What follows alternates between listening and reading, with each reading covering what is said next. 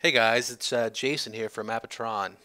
Um, today I'm going to discuss Substance Painter, which is an awesome program, but it can be a little tedious for a new person coming in trying to import existing models they already have somewhat painted on. Um, my purpose of the video today is to help you with that. Uh, I get this question asked several times already from people saying, well, how do I get my existing diffuse in there? How do I get my existing specular maps in there? How do I just bring in my existing models without redoing them from scratch. So here's a workflow that you can do to uh, do that. I understand. All right, so let's start by opening a new file, new project. Select the mesh. Uh, it takes object files, 3ds, uh, uh FBX files, a lot of different file types. I just do object file. It's pretty simple. And then select your normal map and then check set your uh, resolution size. Mine's 2048 for that. And then boom, that part's easy. Now the tricky part is getting your diffuse, existing diffuses to show up on your model in Substance. So to do that, the first thing you do is look down here. You have to have your textures loaded in on your shelf. Right now there's only the normal map. Normal map. So let's go ahead and file, import image. I select on my Raptor Diffuse and my Raptor Specular. Uh, open it up, and there they are. Now, this is where it gets a little tricky. And I'm not exactly sure the reason, I just know this works. Uh, go ahead and do your background fill layer up here. And then drag that down to the bottom layer. This works just like Photoshop layers. Um, it's wonderful. Uh, now, when you click on these layers, here on the tool side, uh, they change and update depending what kind of layer you're on. So on the fill layer, if I go in here, I have my channels, my diffuse, my height, my rough, my metal. So my diffuse, there's a white. So what I want to do is drag my diffuse texture from my shelf over on top of the channel. And actually, don't try to drag and drop it on the, the white box. Drag it on the, um, the, the menu button at the top there, the diffuse area. And then it'll snap to it. Great. All right, now specular. But if you notice, I have no specular here, so how do I do that? Well, go over here to your document settings. Under channels, you hit plus and add your specular channel. Now you go back over here, you see specular channels there, activate it. And it pops up down here on your active um, channels. So right now, as default, it comes in as a ramp, just like the metallic and the roughness. What we want to do is grab your specular channel from the texture shelf and drag it same way we did the fuse on top of the little panel. And there we go. Now we're started now we got our existing texture we have. We can start to paint on it and have some great fun. So just a couple quick things. Let's say uh, I've already saved this out but I'll, I'll do it again here. Um, I want to burn my exhaust here. So what I'll do is go over to my particle brushes click burn get some black dirt from the material If you notice what just happened there, that's actually a, uh, uh, a, little, a little bit a little buggy sometimes. Just hit Control Z if something happens like that. Click on your layer up here to work on your separate layer. Then you can click your black dirt and your fire burn. Then what you want to do is, uh, well, before I start burning the fire, I want wind to the fire to go different directions. Uh, if you look at your locator, your z-axis and your y-axis and your x-axis, I know that z positive is this direction, so I want the wind to go in the negative z. So I go over here to my physical uh, physics brush settings.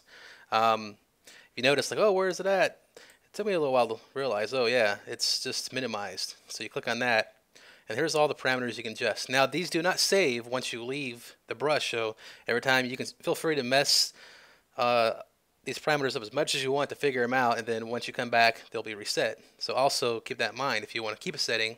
Um, I'm not sure if there's a way to do that yet. But anyways, the global wind here on the z direction, I want minus, so let's go minus 4. And then I'll go ahead and start painting. And you see how it burns to the right. And I'll do the same thing over here. Great.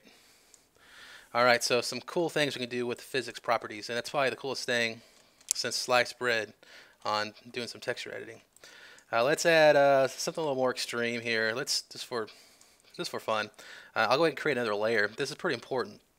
Up here is your layers. Uh, add a new layer. As long as you know Photoshop, You can do this just fine. Uh, let's go to heavy leaking.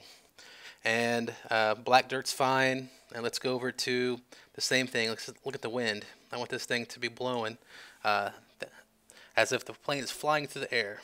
So I'll go ahead and start painting my particle brush. And you can see that it goes in the right direction. And of course, there's a lot of tweaking. This is just a quick example, a little exaggerated. Um, let's do something even cooler. Let's do like a, let's do a rainstorm that has the same attributes. Let's do the global wind, same direction, and we'll just start raining. Start clicking and hold, and you start seeing the rain run off to that wind direction. And let go. Uh, you can go even more extreme if you want to do like a sandstorm. Let's see here. Let's do that one the same way. Let's let's let's get dented up as if we're going along in a sandstorm. Now you can see that that's pretty extreme there. So, but it's it's it's it's an option to do in localized area because you can always mask out a place. So um, since I did a layer, I could turn that completely off. Let's create a new layer. And on this layer, uh, let's play with a, a, little bit of the brushes here. Let's do a gold material and pick a a brush for uh, oh that'd be kind of cool some cracks and put it on here. Start painting on surface here like oh that's kind of cool. But like oh well crap I painted over my uh, my windshield a little too far. So great. You can either erase it or I wanted to show you a little bit, another little feature you can do here is masking. So just like um, Photoshop, you can add a mask. Um, uh, a white mask will show by default and you have to paint off what not to show. So let's show, show you that exactly. So now if I go to the white channel, I start painting off where I over overwent overextended my brush, you can see I can paint that off just fine.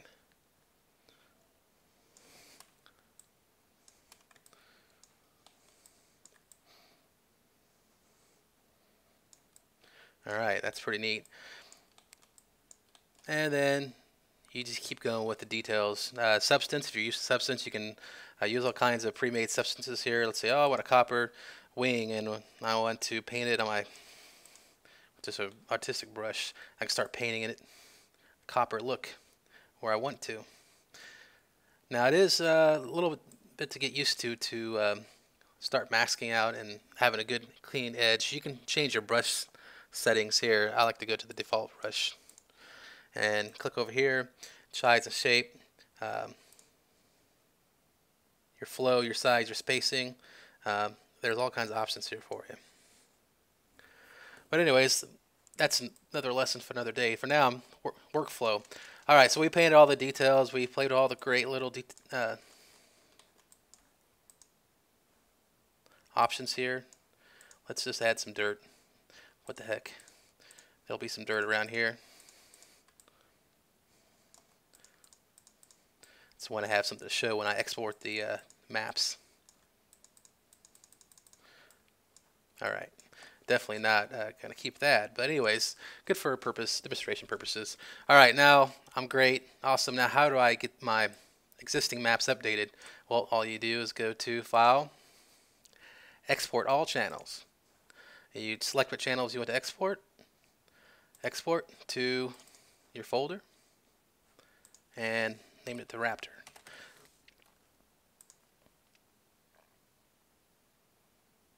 Might take a few minutes depending on your uh, your machine. All right, great.